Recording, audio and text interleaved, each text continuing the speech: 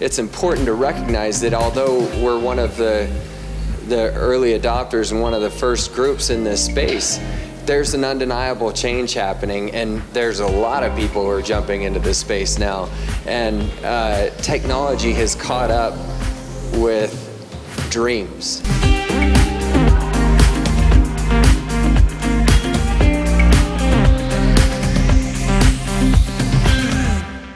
We're excited for everybody. I think um, it's a little, a little unique in that, like, we focus a lot. Um, there's a lot of enterprise tech companies in Utah, and that's really fueling like a lot of our growth. But there's also some exciting emerging tech companies that you may have heard of and you may not have. John, tell us a little bit about ElectraFly.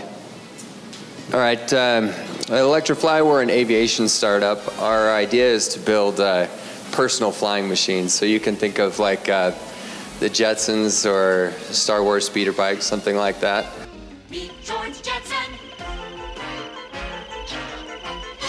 And uh, it looks kind of like a motorcycle with wings and propellers and a jet engine.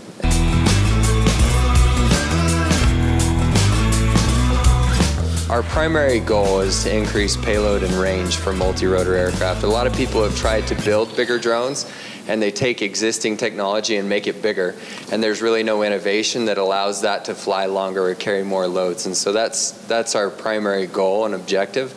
And uh, we have uh, international PCT patent application that we've been working on. The joy I get from flying fulfills me. Teal is at the smaller end of the spectrum. Uh, I started Teal about four and a half years ago now. All the drones that you can buy today uh, are meant to take photos and videos, and they are great at that. Um, and there's a lot of companies competing in, in the consumer drone space today that, that do that. But I had the idea that drones can be more than just flying cameras, and drones can be these incredible, positive things in our lives that have the potential to be way more than that. So to date, we've raised just over $20 million in venture capital. Uh, like I mentioned, started Teal about four and a half years ago now while I was a senior in high school. Um, and launched, uh, launched a couple products into the consumer space and now focusing more on enterprise and defense with some really exciting opportunities. Take us along that, like that journey, how you got from being a hobbyist sort of to a CEO of a tech startup. And over the years, as I was growing up, I just always wanted to explore different ways to fly and, and different ways to experience flight. Uh, in 2012, got pretty good at flying, uh, applied to be a test pilot for a drone manufacturer that accepted me in, um, and started learning more about hardware and software and how everything works. Uh, and then between 2012 and 2014, I just dove into trying to build some of my own technologies and platforms so I built this large multi-rotor that could carry up to about 20 pounds and, and fly for about two hours. Uh, built something called a, a thrust vectoring multi-rotor that could fly just over 100 miles an hour. And then had the idea for Teal and built this small 3D printed prototype powered by an onboard computing platform.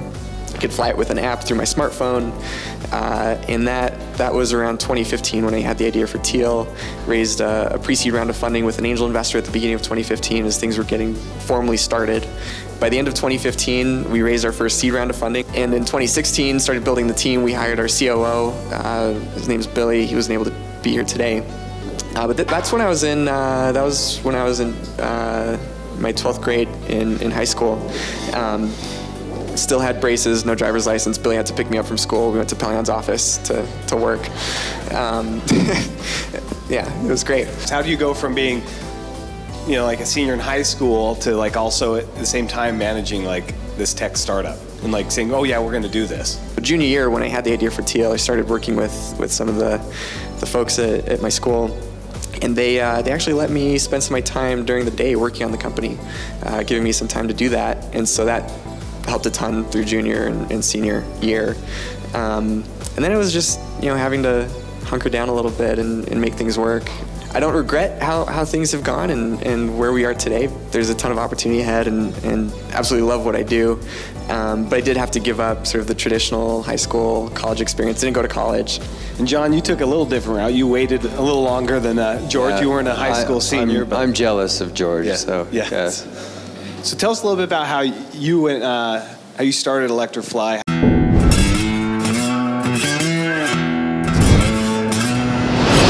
I think that uh, flying is one of those things that you're generally born with. You know, like uh, you you either love it or you don't, maybe. And and uh, I I, uh, I don't remember a time where I didn't want to fly. It was just always the thing that I wanted to do, and. Uh, I think I've always had this fascination with the minimum feature set to make a person fly. So, like something that you put on rather than get into really was it was kind of the fascination and the goal. We're actually a lot newer company at ElectraFly. We've been around for less than a year publicly. We live in such an exciting time where you can do whatever you want. Uh, your, your, your imagination and regulation, unfortunately, is, is, are your limits. And you're a pilot, right? Yeah, yeah. So I, I'm currently an airline pilot. So how do you go from saying, okay, I'm going to fly this big plane to jump on something with rotors? Back in the day that George was talking about, if you wanted a multi-rotor aircraft, you had to build one. And I used to say back then, I'd say, you know, like in five years, it doesn't matter if you care about aviation or not. These things are going to be a part of your everyday life. Yeah, it's been interesting to see how how popular drones have become. I would say consumer drones reached their their hype in 2016 maybe. Uh, and then we kind of went into the trough of disillusionment a little bit, and then we're gradually climbing out of that. Um, there are some some things technology-wise in the consumer space that are holding drones back from becoming ubiquitous and actually part of, of everyday life. And so that was one of the, the purposes of Teal was to accelerate the adoption of drones and make them just a seamless part of everyday life it's just awesome to see where, where the market's going, where the technology's going, and like you say, like anything is possible today, and it's the coolest thing. Um, it's fun to live in the future. Yeah, yeah, it's amazing.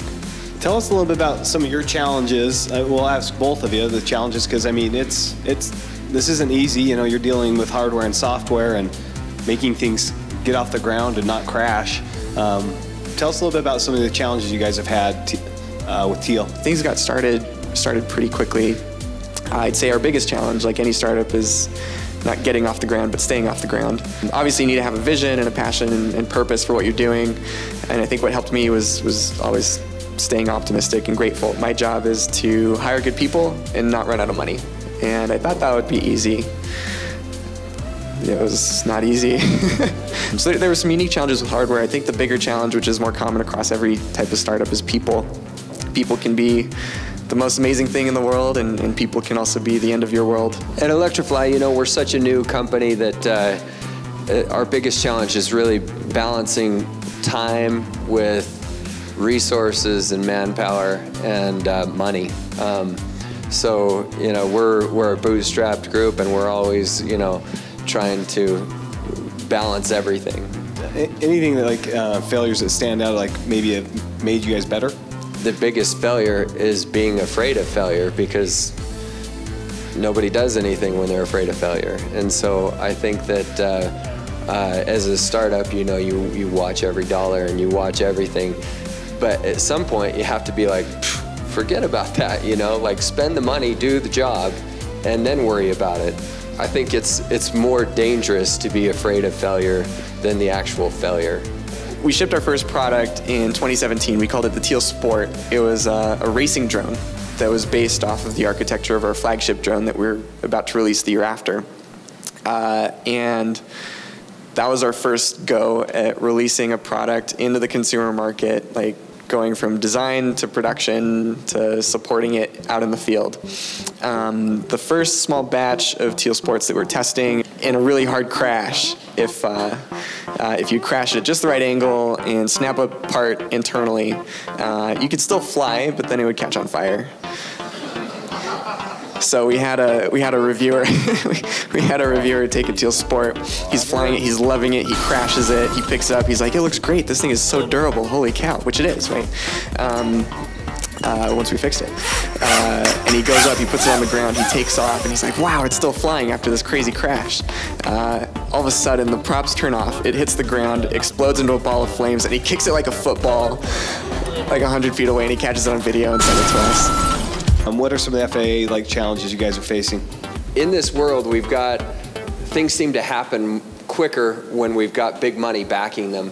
And now we've got, uh, you know, Google, Bell Helicopters, uh, uh, you know, Boeing, Airbus, all the biggest names in aerospace are jumping into, there's, there's billions being spent behind closed doors on this kind of technology. with that kind of money, there's a lot of belief that this is going to happen and it has to change. And the FAA is listening and they're responding. In fact, the FAA reauthorization bill that happened last year is kind of a step towards segregating that airspace so that it will be usable for commercial airspace, uh, commercial purposes. And I think we'll find that uh, uh, in the near future, it'll become one of the most valuable assets that we have.